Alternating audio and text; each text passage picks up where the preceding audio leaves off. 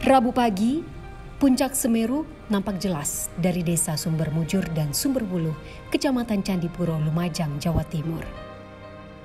Meski begitu indah, namun Semeru masih belum aman. Aktivitas vulkanis Semeru masih sangat fluktuatif. Pada Selasa kemarin, masih terjadi guguran awan panas sebanyak empat kali.